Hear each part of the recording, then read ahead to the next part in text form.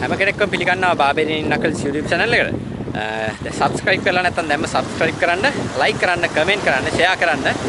අද මම ඇවිල්ලින්නේ ට්‍රින්කෝ වලට පොඩි වෙනස් જાති වැඩක් කරන්න යන්නේ. ඉතින් වීඩියෝ එකට ගිහිල්ලා බලමු. මොකද්ද මොකද්ද අද අපි කරන්න යන්නේ කියලා.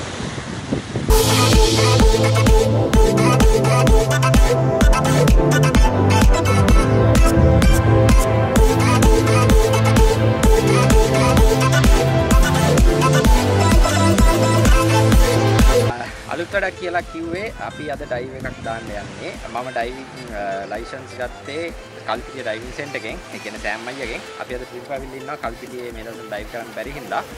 කල්පිටියේ වාරකම් හින්දා. ඉතින් සෑම් අයියත් එක්ක කතා කරමු පස්සේ. මොකද යන්න වෙලාවේ ඩයිව් එකක් ඉන්නේ. එයාලගේ ස්ටුඩන්ට්ස්ත් එක්ක. ඉතින් අපි අද ෂෝ ඩයිව් එකක් කරන්න යන්නේ. ඒ වගේම මම ස්නෝකින් කරන්න බලාපොරොත්තු වෙනවා. ඉතින් වීඩියෝත් එක්ක රැඳිලා ඉන්න.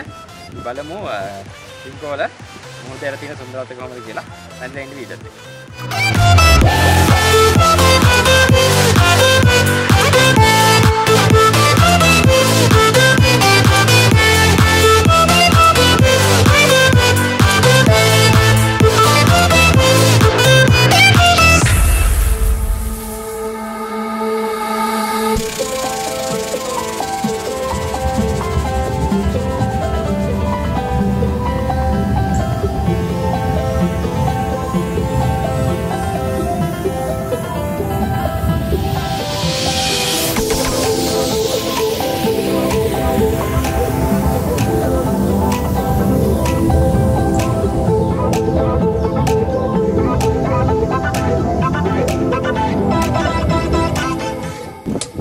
වගේ අපි ඔක්කොම මේ ඩයිව් එකට ඇවිල්ලා ඉන්නේ.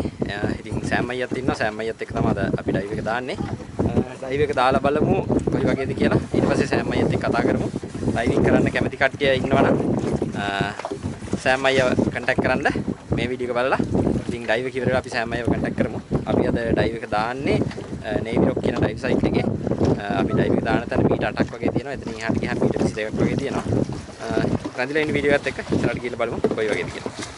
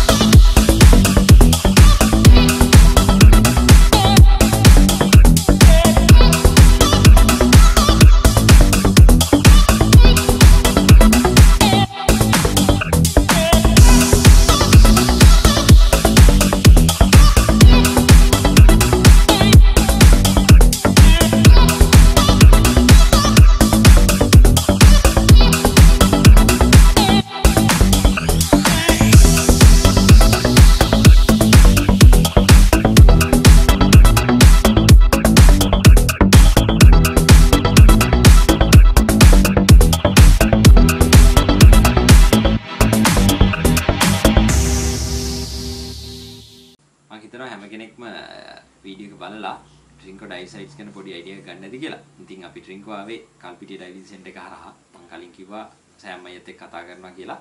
ඉතින් සෑම් අයියා කියන්නේ කල්පිටිය ඩයිවිං වල පටන් ගත්ත ඇත්තටම කල්පිටිය ඩයිවිං පටන් ගත්ත කෙනෙක්. ඒ සෑම් අයියාගේ තාත්තා තමයි කල්පිටිය ඩයිවිං පටන් ගත්තේ. ඉතින් සෑම් අයියා කියයි ඩයිවිං ගැන පොඩි විස්තරයක්. සෑම් අයියා මොකද? ම්ම් ඩයිවිං. ඩයිවිං කියද්දී ගොඩක් කට්ටිය හිතනවා ඒක හරි අමාරුයි කියලා. හැබැයි අමිල ඒක සරලයි කියලා ඔයත් දන්නවා නේද? එතකොට අමිල ම්ම්, ඇත්තටම බය වුණානේ පටන් ගන්න යද්දී. ඔව්. ඉතින් ලස්සන දේවල් බලන්න පුළුවන්. ගොඩක් දේවල්. විසිතුරු මසුන්, කොරල්ස්. එතකොට අමිල මොනවද හිතන්නේ? ඔයා දැකපු දේවල්. දැන් ඇත්තටම ඒවා වචන වලින් කියන්න බෑ මොකද මාත් බය වෙලා ඇත්තටම මුහුදේ අරගෙන ගියාට පස්සේ තිබ්බ බය සම්පූර්ණයෙන් නැති වුණා. ඉතින් සෑම අය දැන් ලංකාවේ ගොඩක් අය හිතන් ඉන්නවා ඩයිවිං කරන්න ඒජ් ගෲප් එකක් තියෙනවා කියලා කියන්නේ. වැඩි හිටියන්ට විතරයි කියලා. ඔව්. අවුරුදු සාමාන්‍ය 21කින් උඩ කට්ටිය තමයි ඩයිවිං වල පොඩ්ඩක් ඉන්ට්‍රෙස්ට් එකක් තියෙන්නේ. ඔව්. එහෙම නෑ නේද? නෑ එහෙම ඇත්තටම නෑ අවුරුදු 11 ඉඳන් ඩයිව් කරන්න පටන් ගන්න ඔව් පුළුවන් ඒක ජූනියර් ඕපන් ජූනියර් ඔපන් වලට ඔව්. පැඩි ජූනියර් ඔපන් වලට ඔව් ඇත්තටම සෑම අයගේ පුතාලා දෙන්නත් ඩයිවිං කරනවා එක්කෙනෙක්ට අවුරුදු අවුරුදු 14යි මගේ ලොකු පුතාට අ, දෙවෙනි පුතාට අවුරුදු 11යි 11. ඉතින් අ, බලන කට්ටිය කියන්නේ පොඩි අය ඉන්නවනම් බය වෙන්න එපා. ඩයිවිං වලට එවන්න මොකද බය එච්චර භයානක දෙයක් නෙවෙයි. අ, සෑම අයලා අ, පුළුවන් තරම් හැම ඉක්විප්මන්ට් එකක්ම පුළුවන් තරම් සේෆ් විදිහට යූස් කරන්නේ. ඒක නිසා කිසිම ප්‍රශ්නයක් නැහැ බය වෙන්න. ඒ වගේම අයියා මේ ඔයාට කල්පිටියේ විතරක් නෙවෙයි ට්‍රින්ක් උනත් arrange කරන්න පුළුවන් groups වගේ නෝ නේද? ඔව් පුළුවන්. ට්‍රින්කොත් අපිට අරේන්ජ් කරලා දෙන්න පුළුවන්. ආයතෝට අයියා පොඩ්ඩක් කියන්නකෝ දැන්. කට්ටිය බලන තිවා මොනවද qualifications. මේකට තියෙන සම්බන්ධව ඒක. ඔව් මම ඉස්සෙල්ලාම පැඩියකට සම්බන්ධ වෙනවා. 2007 මගේ ඕපන් වෝටර් ලයිසන් එකට. ඊට පස්සේ 2012 මගේ ඩ්‍රයිවර් මාස්ටර් ඉවර කරා අ, 2016 මම ඇසිස්ටන්ට් ඉන්ස්ට්‍රක්ටර් ඉවර කරා 2019 අවුරුද්දේ මම ඕපන් නෝටිස් ස්කුබා ඉන්ස්ට්‍රක්ටර් ඉවර කරා uh, අ, 2020 පෙබරවාරි වල මම master scuba diver trainer certification level එක ඉවර කරා අ, මෙහෙමයි අ, පැඩි එකත් ඇත්තටම ඒගොල්ලන්ගේ අ, දේවල් හරියටම කරනවා. ඉතින් ඒක යටතේ අපි උපදේශකවරයෙක් විදිහට අපි ලියාපදිංචි වෙලා අපි කෝස් කරලා අ, අපි කැමතියි තවත් කෙනෙක්ට මේක බලන්න. බලන්න ඩයිවර්ස්ලා ඩයිවර්ස්ලා බිහි කරන්න විශේෂයෙන් ලංකාවේ ගොඩාක් අඩුයි. මේ ඩයිව් කරන කට්ටිය මොකෝ විදේශික කට්ටිය එනවා ෆැමිලි පිටින් ආවම චුටි ළමයාගේ ඉඳන් කරද්දී අපිට ඇත්තටම ආසයි. මම කැමති මගේ රටේ කට්ටිය මේක කරලා තව ඉස්සරහට දෙයක් දකින්නවල. එතකොට දැන් ගොඩක් මේ වටින් ඇවිල මල්ලි මුහුද අවට කට්ටියට වැඩිය දැන් මේ රට මැද අපේ. කට්ටිය ඇවිල්ලා කරන ඔයා නුවරින් එතකොට මේ ගිය අවුරුද්දේ මාත් එක්ක කෝස් කරා කුරුණෑගල අනුරාධපුරේ ඒ වගේ පැති වලින් කට්ටිය ඇවිල්ලා. ඉතින් ඇත්තටම හොඳයි ඉස්සරට වැඩිය දැන් හොඳයි. හැබැයි පොඩි ප්‍රශ්නයක් කියලා මිනිස්සුන්ගේ හිතේ තියා ඉන්නවා මේක හරි භයානකයි. මේ ලොකු ලොකු ප්‍රශ්න වලට මුහුණ දෙන්න වෙනවා. ඩයිවිං කියන්නේ ඇත්තටම භාවනාවක්. අනිත් දේ තමයි ගොඩක් හිතනවා මේ ස්විමින් නැතුව ඩයිවිං කරන්න බෑ කියලා. ස්විමින් ටිකක් අවශ්‍යයි.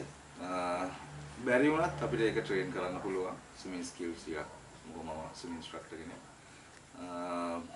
ස්විමින් පැත්ත අපිට අවශ්‍ය වෙනවා. ඒ කියන්නේ සේෆ්ටි පැත්ත හින්දා ඒක අපිට කව කරන්න පුළුවන්. ඒක ලොකු ප්‍රශ්නයක් නැහැ. ට්‍රේන් කරලා ඒක ඔව්. කරගන්න පුළුවන්. ඒක අපිට කරන්න පුළුවන්. එතකොට අයියා දැන් ගොඩක් ඒ කියන්නේ ලංකාවේ කට්ටිය ඩයිවිං දැක්කහම ඒක හිතන්නේ අර නිකන් ෆන් එකට කරන දෙයක් කියලා විතරයි. ඒ වුණා ඩයිවිං එකේ කැරියර් එක ඉස්සරහට අරන් යන කට්ටිය ගොඩක් ඉන්නවා කියන්නේ. ඩයිවිං හින්දා ජොබ්ස් ඕන තරම් තියෙනවා. අපි ඇත්තටම පොඩි කාලේ දන්නේ නැහැ ඩයිවිං හින්දා ජොබ්ස් තිබ්බා කියලා. පොඩ්ඩක් ඒක නේ පොඩ්ඩක් කියන්න. ඔව් දැන් ඉස්කෝලවල වල පැත්තෙන් බැලුවාම අ, දැන් ඔය සාගර විශ්වවිද්‍යාලයේ එතකොට තියෙනවා සූලොජි කරන කට්ටිය ඉන්නවා මැරින් බයොලොජි කරන කට්ටිය ඒගොල්ලන් ආරයකට සම්බන්ධ වෙනවා ඒගොල්ලන්ගේ වැඩිදුර අධ්‍යාපනය වුණාට පස්සේ ඒ වගේම කමර්ෂල් ඩයිවිං කමර්ෂල් ඩයිවිං පැත්ත තියෙනවා ආයි යොමු වෙන්න පුළුවන් අපි වගේ ඉන්ස්ට්‍රක්ටර් ලෙවල් එකට ඇවිල්ලා ඩයිව් මාස්ටර් ලෙවල් එකට ඇවිල්ලා ඩයිව් සෙන්ටර් එකකට සම්බන්ධ වෙලා වැඩ කරන්න පුළුවන්. ඉතින් ගොඩක් වටිනවා. ලෝකේ පුලා ඇවිදලා කරලා. ඇවිදින්න පුළුවන්. හරි විනෝදජනකයි. මේ ඉතින් ගොඩක් දෙනෙක්ව හම්බ වෙන්න පුළුවන්. දැකපු නැති දේවල් ගොඩාක් දකින්න පුළුවන්.